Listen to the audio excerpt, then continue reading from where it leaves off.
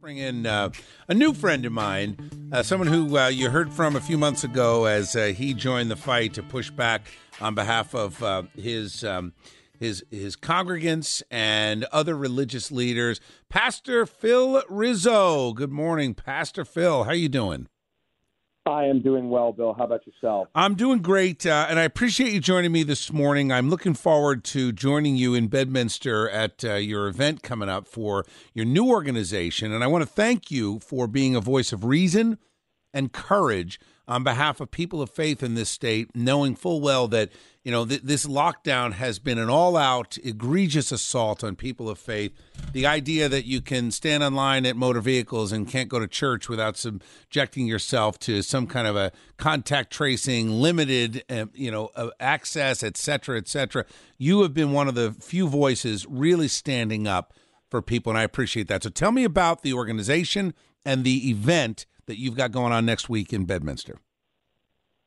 Sure. Arise New Jersey is a new entity that we've established, and our primary goal is to bring attention to the current state of education uh, in New Jersey, uh, the the craziness that exists with uh, new curriculum standards, uh, things that are already being implemented, uh, things that are coming down through the uh, the Murphy administration beginning in September of next year and really just sounding the alarm that school board, uh, local school boards, uh, even though it's a it's a, a low level elected position, it is not for low level people.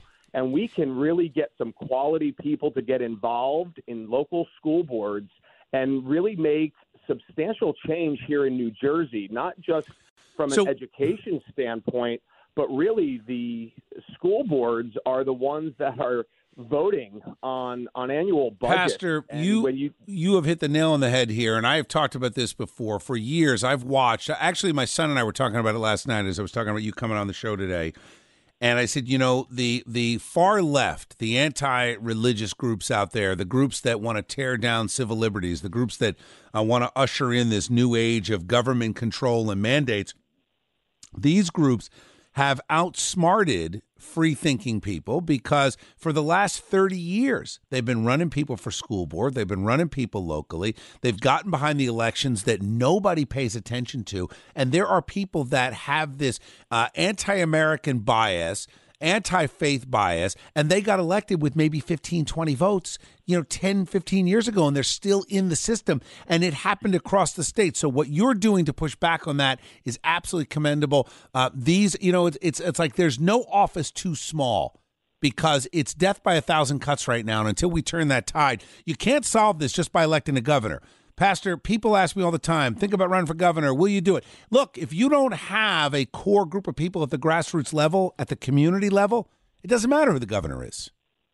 Go ahead. Yeah, exactly. Our our government was designed for uh, bottom up, not top down, mm-hmm. and uh, I really feel that that dealing with the school boards uh, is something that can uh, bring fantastic change. Let me give you just a a really interesting point here that that will uh, touched the heart of, of education directly. In 1941, uh, President uh, Roosevelt, in his State of the Union uh, uh, address, identified some human rights that should be uh, universally protected. And those four freedoms were freedom of speech, freedom of worship, freedom from want, and freedom from fear. And they were incorporated into the Atlantic Charter of Nations uh, that were at war with Nazi well, Germany I will tell you this, Japan. Pastor. We've certainly lost the thread on that for sure. Uh, listen, I'm out of time, but I want to ask you. So you can go to arisenj.com. I will be delivering the keynote address Tuesday, October 20th at, at, at 6 to 9 p.m. I'm going to be there probably close to 7 o'clock. I'm looking forward to it. It's arisenj.com. Um, Phil, thank you for what you're doing. You're as the pastor of City Baptist Church. Uh, not only are you doing uh, right by your congregants, but you're doing right by the state of New Jersey and the future of education. It does smart. It does start with those small, smart battles at the local level, and you're at the forefront. I'm looking forward to seeing you next week.